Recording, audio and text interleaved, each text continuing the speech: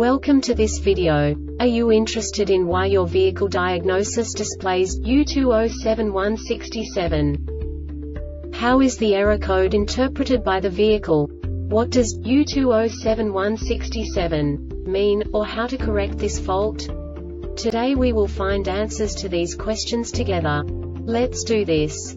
First, let's look at the history of diagnostic fault code composition according to the OBD2 protocol, which is unified for all automakers since 2000. We divide the electric system of automobile into the four basic units. Powertrain, body, chassis, network. This distribution is defined in the first character code. If the second character is expressed as zero, it is a standardized error. In the case of numbers 1, 2, 3 it is a more prestigious expression of the car-specific error. The third character specifies a subset of errors. The distribution shown is valid only for the standardized DTC code.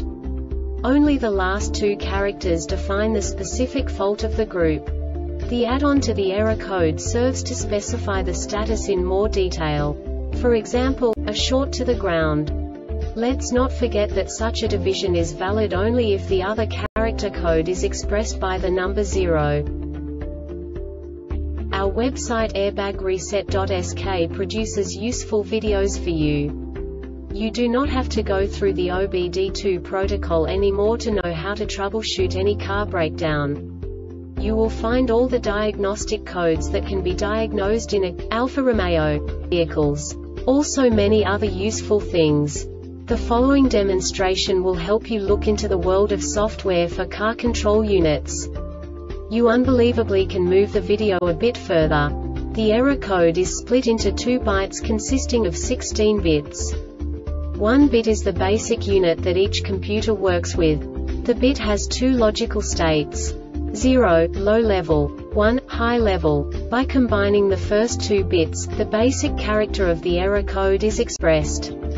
The next two bits again determine the second character. The last beat styles of the first byte define the third character of the code. The second byte is composed of a combination of 8 bits. The first 4 bits determine the fourth character of the code.